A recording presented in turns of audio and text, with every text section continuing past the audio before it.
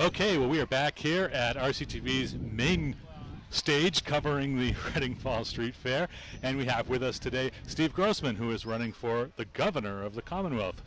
Welcome today, Steve. I'm thrilled to be here. I was uh, over at a dinner, the annual dinner of the Reading Democratic Committee on Friday night, and uh-huh. I heard about this, and I, I've been here before, but not for a couple of years, and I said I've got to be here, and I've got the most beautiful day of the year so far, so it's it's a it's a wonderful experience. I'm seeing a lot of old friends and seeing a lot of new friends, and it's been a wonderful day. Excellent. Yes. Well, thank you so much for stopping by to talk with us. Um, do you have a uh, favorite booth at the fair that you've seen? Well, I actually was interested. I was down at the Hitching Post, which mm-hmm. I just moved and had its grand mm-hmm. opening uh, just yesterday. Just, just yesterday, yeah. And it's a beautiful store and a number of other places. I, I've been sort of eating my way through Massachusetts today. I started oh, off yeah. at the dedication of a new Hindu temple okay. in Sharon this morning, and they gave me a lot of Indian pastries. And then, of course, I went over to the Victorian Fair in Melrose, and they right. gave me a bag of kettle corn about this big. but before I leave Reading, I promise you I will be taking some delicacies with me in the car because I got to keep my colleagues in the car well fed. absolutely, absolutely. Well, glad you've uh, been able to come to the street fair today. And the question I always like to ask people who are running for high office, right. Um, given the amount of uh, scrutiny that comes at the governor's office and that type of thing. Why do you want to be governor of the Commonwealth of Massachusetts? I think scrutiny is a good thing. Frankly, when I was running for state treasurer, and I am uh, mm-hmm. the state's treasurer for the right. past four years, I said, I'm going to put the state's checkbook online. People said, never going to happen. I said, no, we need to do that. Why? Because the taxpayers spend $24 billion a year in taxes, and right. they're entitled to know how every dime is being spent. By the way, if any of your uh, viewers want to see it in live and in color, mass.gov slash open checkbook, and they can see how it's all spent. All so I think transparency and accountability is important, and I think we have to be expecting scrutiny of every decision we make.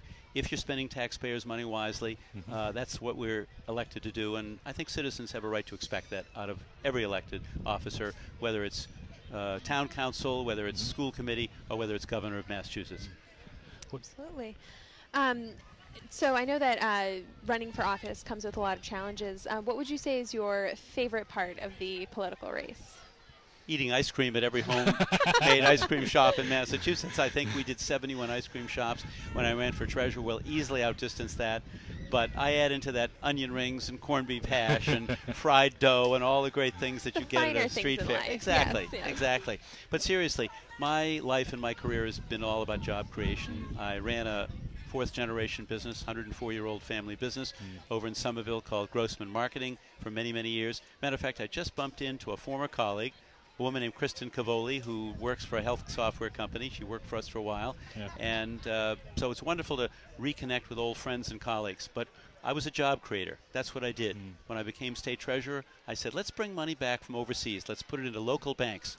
Let's put it into local banks that are going to lend money to small businesses owned by women, people of color, immigrants, veterans, all small businesses, because small businesses are the job creators. And so this is going to be a tough election. I hope yeah. to be the nominee of the Democratic Party come Tuesday night because Charlie Baker will be a tough candidate to defeat. Sure. He'll talk about his job creation, he'll talk about how he knows how to run government. But I think it's fair to say that I have reformed almost every part of state government that I'm responsible for as treasurer. I've kept every promise I made. I was honored to receive the endorsement of the Boston Globe. They said the next governor will make decisions that will affect the economic destiny of Massachusetts. That's a big deal. Yeah. And the best social program ever created was what? A job. Yeah. And I'm a jobs creator, and that's really what I'm running on. My record of leadership in creating jobs in the private sector, lifting people up, and making sure that we have universal pre-K for every one of our 24,000, 25,000 uh, three and four year olds who lack it right now. Mm. That's the kind of investment we need to make in full day kindergarten and in full day uh, universal pre-K. Well, I've heard that uh, Massachusetts per capita eats more ice cream than any other state in the country, so I'm glad you're keeping your end I up was told that. that. I actually spoke to the New England Ice Cream Restaurant Okay. Association. It was my it was my most fun gig of all. They had ice cream shops represented all over the place, and I had and I learned that. So Sure. I, I'm fully subscriber of that belief. Well, I know, uh, you know, uh, one of the most important uh, jobs of the governor, Mhm. beyond uh, uh, working on their own programs, of course, is, is to work with the legislature Right. to get that done.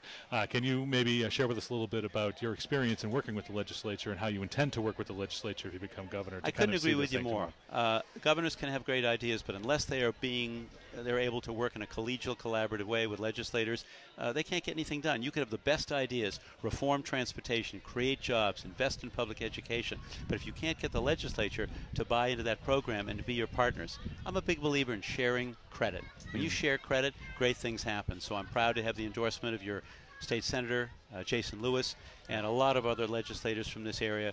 We've done interesting things over the past four years, created a financial literacy trust fund to bring financial education I don't believe that any high school student should ever graduate again without some basic financial literacy. Mm. But it's not going to all be paid for by government. It's got to be paid for by the business community and the private sector. So I'm going to challenge the business community to be an investor along with me, to get the legislature involved in that. When we break down silos and work in a collaborative way, that's when you get things done. What people want out of their governor, common sense solutions that improve the quality of people's lives. Excellent. Well, thank you very much for coming to the Reading Street Fair, well, first of all, today. Well, thank you for having me. I'm grateful for the chance to be here.